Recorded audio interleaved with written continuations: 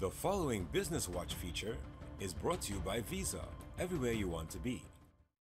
DeNovo Energy has announced delivery of first gas from its Zandolie field, the company's second offshore field development to be completed in Block 1A off the west coast of Trinidad.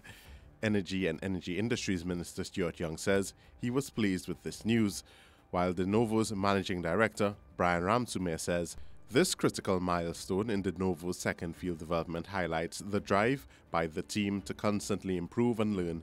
We pushed ourselves to deliver a greener and more local platform. The result is that the Zandolie platform is a local fabrication which is 100% powered by renewable energy and which will minimize the carbon footprint of our operations. Klaus Kronberger, Managing Director of Proman Trinidad and Tobago and Chairman of DeNovo, says the first commercial gas supply from Zandolie is a significant accomplishment across the Proman family of companies.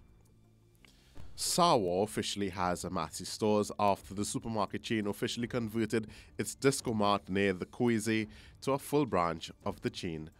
In the official opening of the branch on Wednesday, Massy Stores CEO Roxanne De Freitas addressed a social media post which depicted Melongene being sold at Massy Stores for $74. We won't justify it, right? What happened as soon as it was brought to our attention, the products were all removed, and the reality is that we made a mistake with the pricing on that product, right?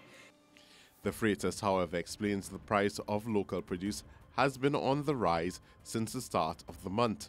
What I can tell you though is that from the month of July, if you would check even in NAMDEVCO pricing, you would see that the price of baigan has increased almost 100%, but let's say 75% from the beginning of July to now. She also told Business Watch the decision to change from Disco Mart was driven by an increased demand from customers to be a part of the Massy Loyalty Points program, which was not offered through the discounter brand of Massy stores.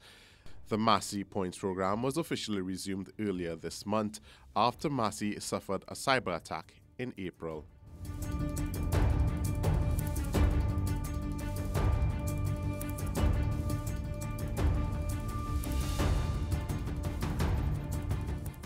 Peter Christopher, CNC3 Business Watch.